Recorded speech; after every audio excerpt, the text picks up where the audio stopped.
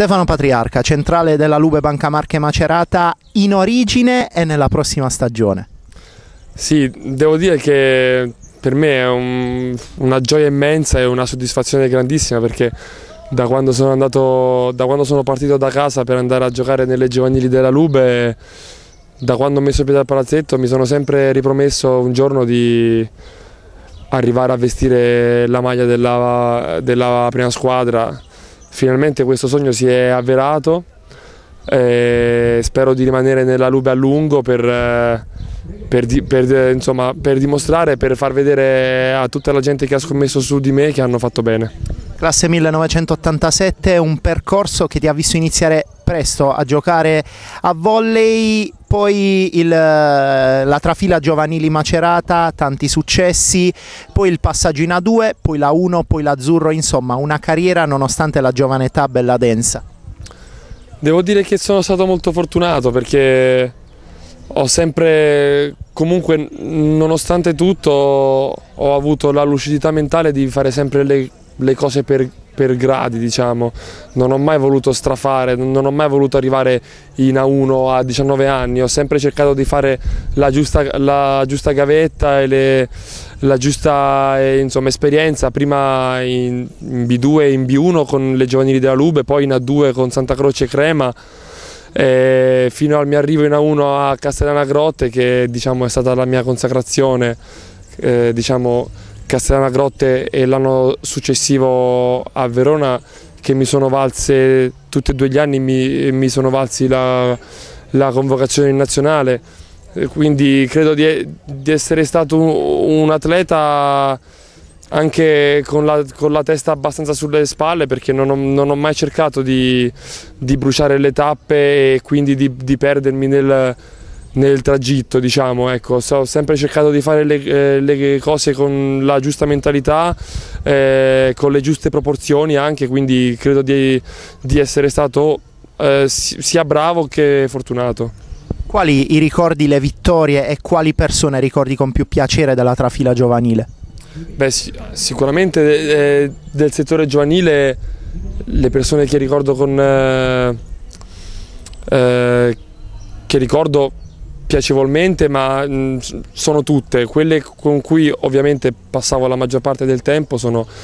i miei allenatori Gianni Rosichini, eh, Stefano Sposetti e Giacomo Giganti che mi sono stati sempre vicino nel, corso, nel, nel percorso di crescita e il, sicuramente il responsabile del settore giovanile della Lube che è Mario Picchio che per noi era, era come un padre, eh, non ci ha fatto mai mancare niente, ci stava sempre addosso cercando di inculcarci sempre la mentalità giusta per stare nel mondo della, della pallavolo, quindi a loro va un grosso, un grosso ringraziamento, spero di eh, spero quest'anno qui e gli anni a venire di dimostrare anche a loro che su di me hanno fatto un ottimo lavoro eh, cercando di dare il, il mio giusto contributo eh, al raggiungimento degli obiettivi della, della squadra. Volendo tracciare un bilancio, cosa hai visto in questi tuoi ultimi tre anni di Serie A1? Mm, purtroppo, e dico purtroppo perché è sotto, la, è sotto, gli occhi di tutti che il campionato eh, si stia abbassando di livello. E per uno che ama la pallavolo italiana e che vorrebbe giocare qui in Italia per, tu, per tutta la vita è un grosso, è un grosso dispiacere.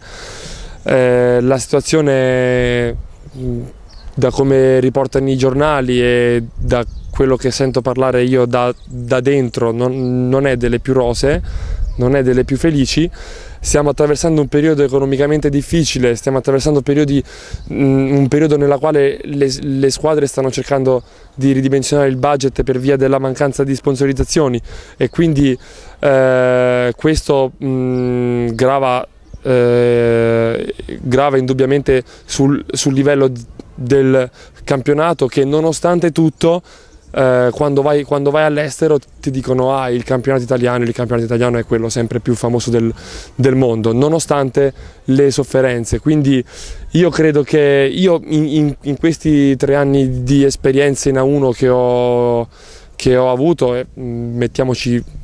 4 anche quello con la Lube dell'ultimo anno di giovanili. Ehm, è, stato, è stata un'esperienza bellissima. Eh, è stata un'esperienza che, che, auguro a chiunque avrà la forza di, di, arrivare, di arrivare in A1, però d'altro canto eh, sto vedendo col passare, de, eh, sto vedendo col passare degli anni eh, la brutta piega che sta prendendo la pallavolo italiana. Spero che la situazione si possa, si possa, aggiustare perché ce lo meritiamo, ce lo meritiamo noi giovani che lavoriamo tanto, se lo merita il pubblico che comunque è sempre tanto e riempie sempre i palazzetti. E se lo merita l'Italia tutta perché è sempre stata una nazionale gloriosa e dobbiamo cercare di ritornare sulla falsa riga della generazione dei fenomeni. Cosa ti ha prospettato la Lube per la prossima stagione per il tuo futuro? In, allora, indubbiamente sono, sono, convinto che la Lube tiene molto a me, altrimenti non sarei mai ritornato a Macerata. Sono convinto che la Lube, eh, facendomi ritornare a casa, ha scommesso su di me. Quindi la, la voglia di scommettere su un proprio prodotto la voglia di, di, puntare su un ragazzo che, mm, quale, che, è arrivato a Macerata partendo da, da, zero, credo che sia una soddisfazione oltre che per me anche per loro se io un giorno dovessi eh, riuscire a, a, a se, se, io un giorno dovessi essere protagonista della, della, Lube, secondo me sarebbe un successo sia mio che, che loro perché farebbe capire a tutta Italia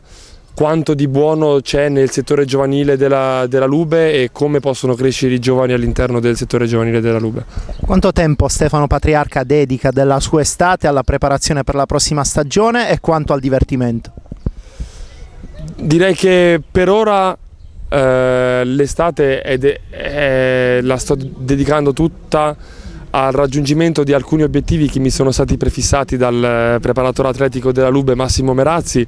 il quale ringrazio perché arrivare a 96 kg per me è un'impresa a dir poco ardua per chi mi conosce. Eh, però ce la, ce, la, ce la, sto mettendo tutta, colgo l'occasione per eh, informare Massimo che sono arrivato a 98, mi sono pesato stamattina, quindi il traguardo è vicino, non mollerò fino a che non vedrò scritto 20, eh, 96, perché 26, 96, non, non mollerò e e prometto qui davanti alle, alle, te, alle, telecamere di Fabrizio D'Alessandro che arriverò il primo settembre a 96 kg e con un'elasticità muscolare invidiabile.